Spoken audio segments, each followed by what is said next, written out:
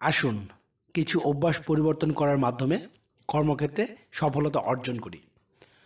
আমরা সবাই কর্মক্ষেত্রে সফলতা অর্জন করতে চাই, কিন্তু কিছু অভ্যাসের জন্য আমরা সেটা অর্জন করতে পারি না। তাই আজকে আমরা আলোচনা করব কি কি অভ্যাস পরিবর্তন করে আপনি কর্মক্ষেত্রে সফলতা অর্জন করতে পারবেন। চলুন শুরু করা যাক। এক নাম্বার, সবসময় নিজেকে আরও উন্নত করতে হবে। আপনি যদি কর্মক্ষেত্রে সফল হতে চান, ভালো করতে চান, তাহলে অবশ্যই আপনাকে নতুন নতুন জিনিস শিখতে হবে, নতুন নতুন টেকনিক শিখতে হবে, সবসময় নিজেকে আরও উন্নত করতে হবে। দুই নাম্বার, ভয়কে জয় করতে হবে। আপনি যখন অফিসে ভালো করবেন, তখন আপনার বস আপনাকে আরও বেশি বেশি কাজ দিবে। নতুন নতুন কাজ দিবে। এই নতুন কাজ করতে যে আপনাকে ভয় পেলে চলবে না। আপনাকে ভয়কে জয় করতে হবে এবং নতুন কাজগুলা সঠিকভাবে করতে হবে। তিন নম্বর, কাজ সঠিক সময় এবং সুন্দরভাবে শেষ করতে হবে।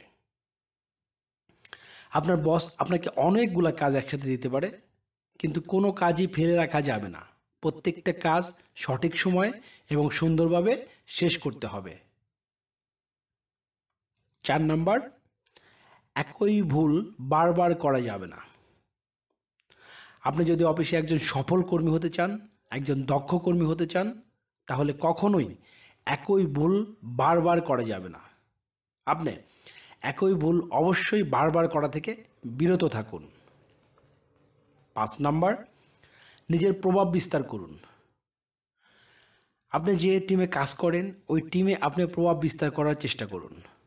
আপনি যে অফিসে কাজ করেন, ওই অফিসে অন্যান্য ডিপার্টমেন্টে যারা আছে, তাদের উপর আপনি একটা প্রভাব বিস্তার করার চেষ্টা করুন। আপনি যখন সবার উপর প্রভাব বিস্তার করতে পারবেন, তখনই আপনি একজন সত্যিকারের দক্ষ কর্মী হয়ে উঠতে পারবেন। কাজের ব্যাপারে অগ্রিম চিন্তা করতে হবে। আপনাকে অবশ্যই কাজ নিয়ে অগ্রিম চিন্তা করতে হবে। তাহলেই আপনার বস আপনার উপর খুশি থাকবে।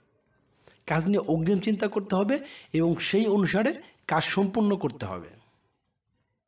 সাত নাম্বার নলেজ শেয়ারিং করতে হবে। আপনি যত বেশি নলেজ শেয়ারিং করবেন অফিসে, একই সাথে আপনি শিখতে পারবেন নতুন নতুন জিনিস এবং আপনি যার সাথে নলেজ শেয়ারিং করবেন, সে আপনার অনুগত থাকবে।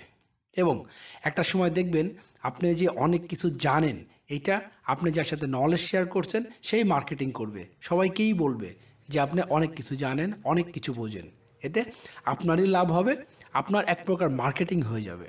তখন সবাই বা জানবে, সবাই বুঝবে, আপনি একজন দক্ষ কর্মী, একজন ভালো হাই পারফর্মার তো আজকে এ পর্যন্তই।